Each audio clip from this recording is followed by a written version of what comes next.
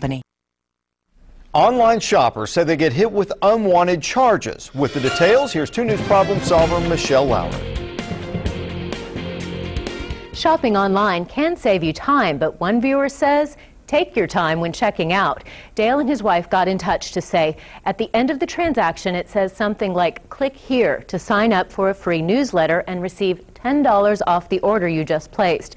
We figured saving $10 was worth some extra emails, but when we entered our email address, a page flashed saying we enrolled in a $9.95 per month shopping program.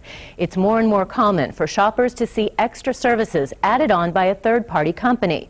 Your best defense is to closely read all the fine print to make sure you're not mistakenly agreeing to added charges. In this case, our viewers were shopping jcpenney.com and the subscription subscription fee came from Perfect Home Rewards. Like many of the cases we see, it has to do with adding a service with a monthly fee. You might be promised credit protection, extra discounts at certain retailers, or magazine subscriptions. A JCPenney spokesperson says they've partnered with Perfect Home Rewards for many years, and a customer has to double opt in or click twice to confirm the subscription before it's added. So take the time to be sure you're not agreeing to something you really don't want and closely watch each of your monthly bills. If you spot an unwanted charge, don't delay. Call the company immediately, dispute the charge, and ask for a refund.